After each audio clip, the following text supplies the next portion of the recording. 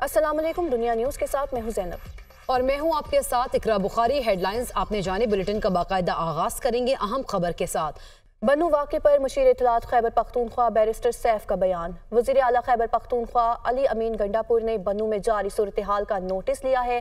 Barrister Saif ने कहा कि वज़ीर अला ने बनु वाक़े की शफाफ तहकीकत के लिए कमीशन बनाने का भी ऐलान किया।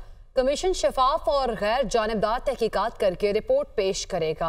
रिपोर्ट को पब्लिक किया जाएगा और जिम्मेदारान के खिलाफ कानूनी कार्रवाई भी की जाएगी। हसास मकाम पर अमूमन सिक्योरिटी हाई अलर्ट रहती है। खुदकुश हमले में फौजी जवान और शहरी शहीद हुए थे। बैरिस्टर सैफ ने मजीद ये भी कहा कि इस मकाम की हसास नौीयत भी कल के नाखुशगवार वाक़े की एक वजह बनी। मौजूदा दहशत गर्दी की लहर के पेश नज़र अवाम से इंतहाई एहतियात से काम लेने की दरख्वास्त की है। कमीशन की रिपोर्ट में जिम्मेदारान की निशानदही हो जाएगी। पाकिस्तान और अवाम दुश्मन अनासर हालात ख़राब करने की ताक में बैठे हैं। वज़ीर ख़जाना मोहम्मद औरंगज़ेब का कहना है कि आई पी पीज माहिदों की री प्रोफाइलिंग का मामला अवैस लगारी देख रहे हैं। अवैस लगारी की सरबराही में डिस्कोर्स के बोर्ड्स जल्द तब्दील होंगे और आई पी पी माहदे के खिलाफ वर्जी पर आर्बिटेशन का मामला भी देखना है। जबकि ये हुकूमत के माहदे हैं, हमने रेकोटिक की तरह नहीं फंसना है। प्रोग्राम दुनिया कामरान खान के साथ में गुफ्तु करते हुए उन्होंने मजीद कहा कि बिजली के टैरिफ में कमी के लिए हल ढूँढने की भी कोशिश कर रहे हैं। बिजली चोरी रोकने के लिए इकदाम जारी हैं, हमने अपने टैक्स नेट को बढ़ाना है। पुर उम्मीद है, अगस्त के आखिर तक I M F executive board से मंजूरी भी हो जाएगी। हुए उनको आई नो अवैस लगारी साहब अपनी टीम के साथ इसको देख रहे हैं, हम भी उनको इसमें असिस्ट कर रहे हैं कि उसकी क्या परमिटेशन और कॉम्बिनेशन हो सकती है कि इसको जो है इसके जो कैपेसिटी पेमेंट्स हैं और इसकी मद में जो पेमेंट्स हैं, उनको कैसे कम किया जाए। आपने रीप्रोफाइलिंग की बात की है, उसको भी हम बिल्कुल देख रहे हैं। लेकिन at the same time we need to be very careful Kamran भाई, और आप मेरे से बेहतर जानते हैं कि हमें किसी चीज़ को एक और रिकोडेक में जाके नहीं फंसना। ये गवर्नमेंट के माहदे हैं और on one side we have to bring this payments down ये बिल्कुल आप दुरुस्त बात कर रहे हैं। दूसरी साइड ये है कि हमने इसको कैसे मैनेज करना है to move it in that direction क्योंकि खुदा ना खास्ता किसी भी माहदे की हम जो है वो उसके ख़िलाफ़ जाएँ और फिर वो जाके आर्बिट्रेशन के मामला आप मेरे से बेहतर जानते हैं तो वो भी हमने उसको मद्देनज़र रखना है। बिजली की कैपेसिटी पेमेंट्स में इजाफा और फरोख्त में कमी। माली साल 2024 में कैपेसिटी पेमेंट सत्रह रुपए एक पैसा फ़ी यूनिट थी, जबकि माली साल 2025 में कैपेसिटी पेमेंट्स अठारह रुपए उनतालीस पैसे फ़ी यूनिट होगी। गुजशत माली साल में 110 अरब यूनिट्स बिजली फरोख्त हुई है और मौजूदा माली साल में 106 अरब यूनिट्स बिजली फरोख्त होगी।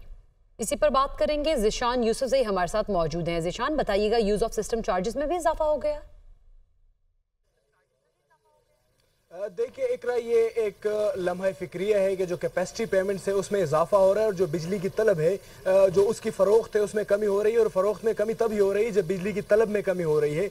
और इसकी एक अहम वजह जो नेपरा हुकाम बताते हैं, वो ये बता रहे हैं कि बिजली महँगी इतनी हो गई है कि लोगों की इस्तात से बाहर हो गई है और कुछ लोग नेशनल ग्रिड पर जा रहे हैं। अगर मैं आपके साथ तफसीत शेयर करूँ तो गुजशत माली साल में बिजली की जो फ़ी यूनिट में कैपेसिटी पेमेंट थी, वो सत्रह रुपए एक पैसे थी, जो माली साल दो हज़ार चौबीस पच्चीस में बढ़कर अठारह रुपए उनतालीस पैसे फ़ी यूनिट होगी इसके साथ साथ अगर बिजली की यूनिट्स की बात की जाए तो एक सौ दस अरब यूनिट जो है वो गुजशत माली साल में फरोख्त हुए थे, जो इस साल कम होकर एक सौ छह अरब यूनिट हो जाएगी और उसका जो इम्पैक्ट है, वो उन सारी फील पर आएगा जो नेशनल ग्रिड से बिजली लेते जो निकल गए, वो कैपेसिटी पेमेंट से उनकी जान छूट गई और जो सोलर पर जा रहे हैं, वो कैपेसिटी पेमेंट से निकल गए, लेकिन जो बाकी सारी फीन उनके लिए बिजली महँगी होगी। इसके साथ साथ जो यूज़ ऑफ़ सिस्टम चार्ज है, उसमें भी इजाफा हुआ है। गुजशत माली साल में यूज़ ऑफ़ सिस्टम चार्ज एक रुपए सैंतीस पैसे था, जो इस साल बढ़कर एक रुपए चौवन पैसे हो गए। इसके साथ साथ जो डिस्ट्रीब्यूशन मार्जिन है और जो प्रायर एयर एडजस्टमेंट है, उसमें भी इजाफा हुआ। डिस्ट्रीब्यूशन मार्जिन वो है, जो हम डिस्कोस को और बिजली की तकसीम कार कंपनियों को देते हैं और उसमें से वो अपने अखराज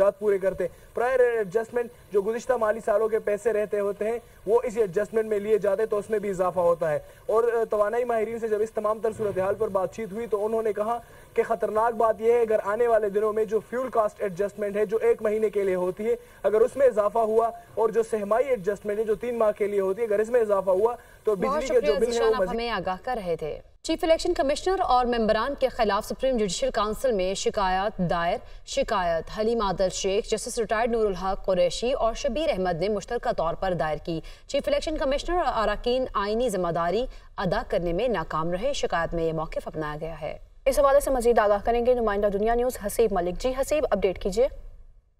लेकिन ये चीफ इलेक्शन कमिश्नर और मिमजान के खिलाफ सुप्रीम जुडिशल काउंसिल में शिकायत दर्ज, दायर की गई है, जो कि हलीम आदिल शेख और जस्टिस रिटायर्ड रिटायर्ड नूरुल हक कुरेशी और शब्बीर अहमद की जानब से ये मुश्तरका शिकायत जो है वो दायर की गई है। शिकायत में बेसिक जो मौके इख्तियार किया गया है, वो यही किया गया है कि चीफ इलेक्शन कमिश्नर और अरकान मिसकंडक्ट के मुर्तकब हुए हैं और इलेक्शन कमीशन ने सियासी तौर पर तैनात ब्यूरोक्रेसी को आर ओ और डी आर ओ तैनात किया था, जबकि सबक कमिश्नर रावलपिंडी ने इंकशाफ किया था रावलपिंडी के हर हल्के में नॉन लीग की को सत्तर हज़ार वोट डलवाए डलवा कर जितवाया गया है, जबकि उसमें जो शिकायत दायर की गई है, उसमें लियाकत चट्ठा के भी इंकशाफात का ज़िक्र किया गया है, जबकि दरखास्त जो दायर की गई है, शिकायत जो दायर की गई है, उसमें बेसिक इस्तः की गई है कि चीफ इलेक्शन कमिश्नर और अरकान पर आयद इल्ज़ाम की इंक्वायरी करवाई जाए और इंक्वायरी में इल्ज़ाम साबित होने पर चीफ इलेक्शन कमिश्नर और अरकान की बरतरफी की सिफारिश की गई है ये इस्तेदा की गई है। तो ये अहम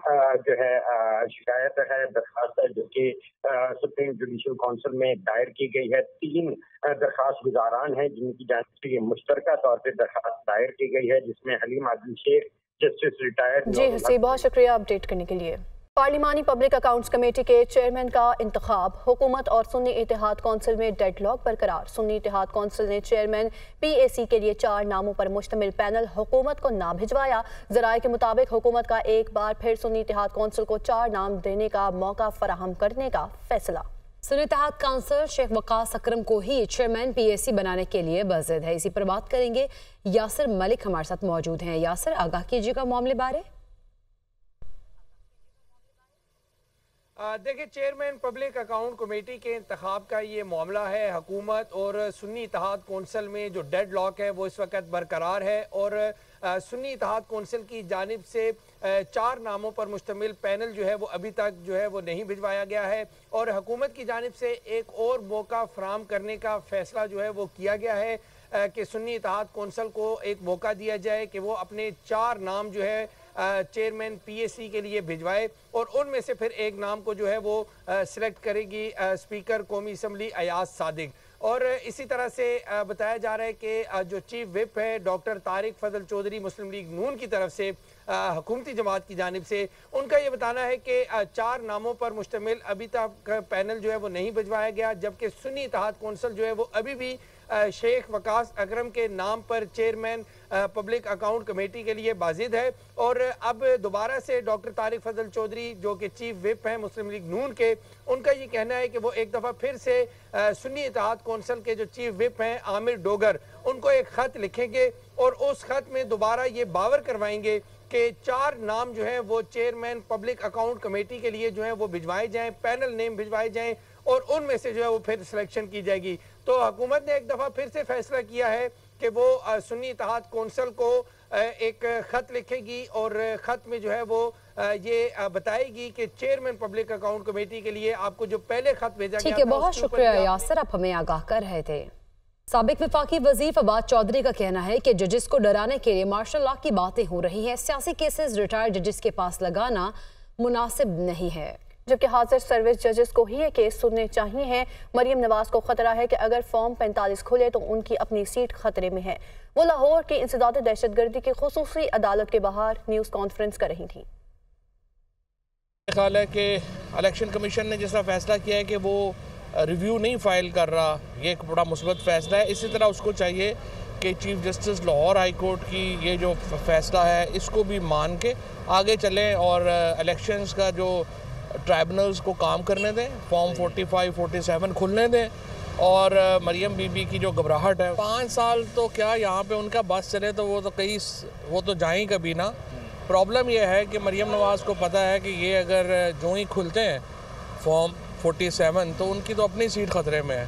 तो नवाज़ शरीफ और मरियम नवाज़ समेत जो नून लीग के बहुत सारे एम एन एम पी हैं, वो तो अपनी सीटें नहीं बचा सकेंगे जिस तरह के हालात जा रहे हैं। देखिए, बात यह जी कि पाकिस्तान में स्टेबिलिटी तो नहीं है और ये एक तासर तो ये है कि नॉन जजेस को डराने के लिए ये बातें हो रही हैं। लेकिन ये जो पहली बात तो ये है कि जो हाजिर जजेस हैं, उन्हीं को ही आप जो है वो इन केसेस में लगाएँ।